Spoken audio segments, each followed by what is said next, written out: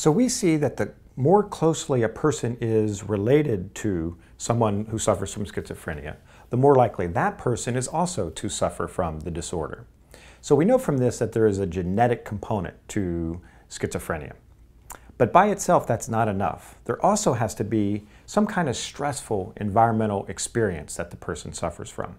Those two things together are really what's required. And we refer to this as the diathesis stress model. So diathesis means the biological predisposition, and the stress means some kind of environmental event. It's those two things together that are really required. And this, by the way, applies to all kinds of psychological disorders anxiety, personality disorders, obsessive compulsive disorders. So let's take a closer look at some of these environmental risk factors for schizophrenia. So, one of the risk factors involved in the development of schizophrenia is maternal infection. And so what we mean by this is that if a pregnant woman is exposed to diseases or infections, that the baby later on in life actually has an increased risk for the development of schizophrenia.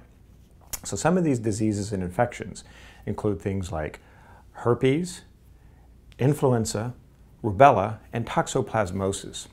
And toxoplasmosis, by the way, is found in feline feces which is one reason why doctors always recommend that pregnant women stay away from cat litter.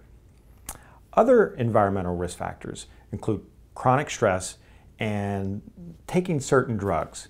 Now again, by themselves, these things do not cause or even really increase schizophrenia. It's that coupled with a genetic predisposition that's really required. And again, this is what we mean by the diathesis stress model.